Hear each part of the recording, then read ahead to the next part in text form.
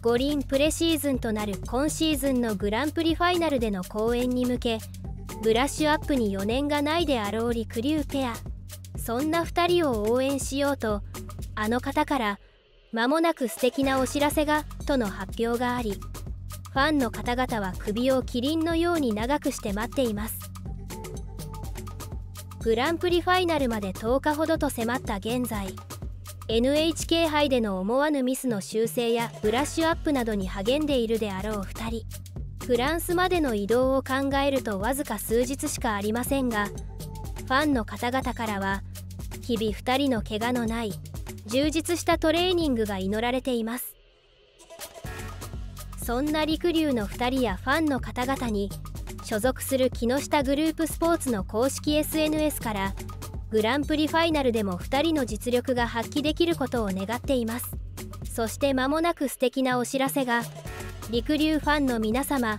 楽しみにお待ちくださいと楽しみすぎる情報が。NHK 杯後に投稿されたものなのですが NHK 杯での素敵な画像の最後にはカミングスーンという言葉とともにモザイクの入った画像が今シーズンの2人のフリーアディオスをイメージしたかのような長方形の画像にファンの方々からはこれはもしやなど歓喜の声がおそらくファンの方々が予想するように2人の応援バナータオルであろうこの発表にウキウキ待っている状態なのですが今後2人はフランス開催のグランプリファイナル12月末の全日本選手権。2月の韓国開催の4大陸選手権。そしてアメリカ開催の世界選手権に出場とみられファンの方々が2人の前でバナーを振ることを想定すると早めの販売が期待されているのです。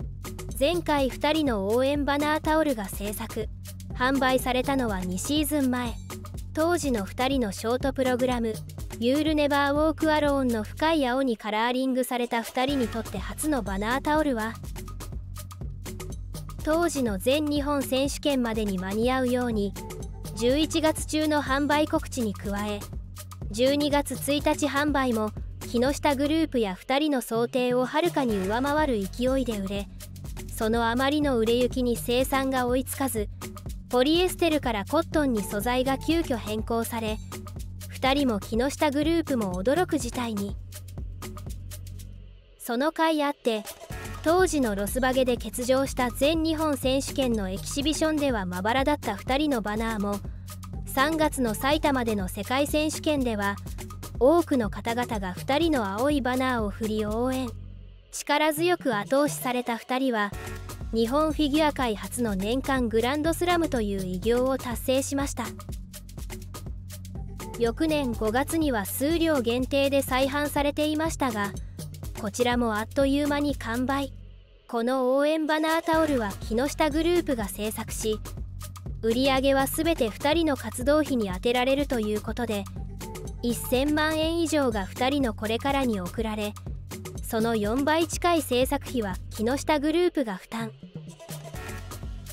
それでも応援し日本ペア界。いや世界ペア界の頂点を走り続ける2人になってもらおうとおそらく12月末の全日本選手権で応援バナーが会場で触れるように木下グループの総力を持って取り組んでくれることでしょう詳細をご覧になりたい方は説明欄の URL からどうぞ。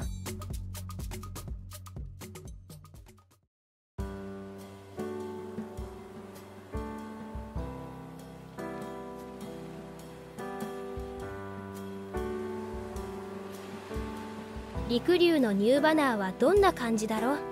木下さんからの支援に感謝しています。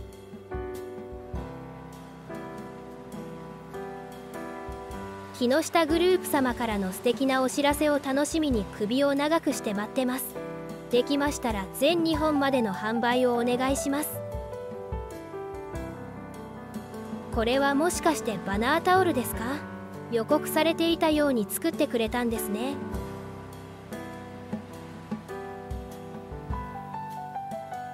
木下様からの素敵なお知らせを首を長くしてお待ちしております。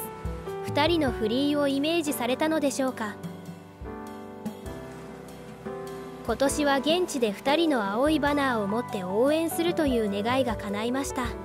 そしたら今シーズン用のバナーも作成中なのですね。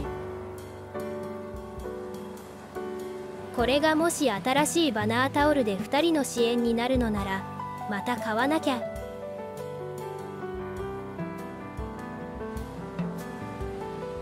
NHK 杯は陸流バナーがたくさん振られてて嬉しかったな。12月の全日本では新しいバナーが触れそう。木下様から素敵なお知らせ。前のことを考えると対策してそうだから一気に販売しても対応してくれそう。でも早めの報告をお願いします。現地に行けない私も欲しいです。今シーズン用のバナータオルが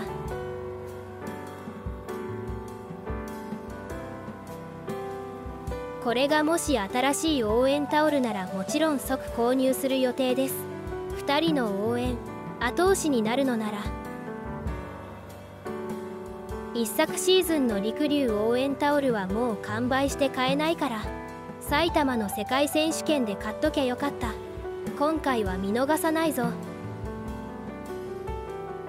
爽やかな2人にぴったりの青も良かったけど中日。今季フリーのイメージであろう赤と黒も大人っぽくて好き。これまでの陸竜のタオルの雰囲気は龍一くん大好きな中日を感じてたから新しいタオルの雰囲気が気になりすぎる。素敵なお知らせは何でしょうね。バナー説が濃厚ですが新しいグッズや陸流フォトブック第2弾もお待ちしていますよ。陸竜の2人がグランプリファイナルで怪我なく無事に滑り終わることを祈ってます。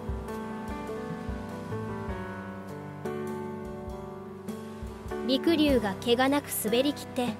本人たちが満足できるよう祈っています。そのためにも新バナーカモン。ファイナルに向けて順調に調整できているであろう2人。何かしらある方たちだから忘れ物チェックは必須ですね。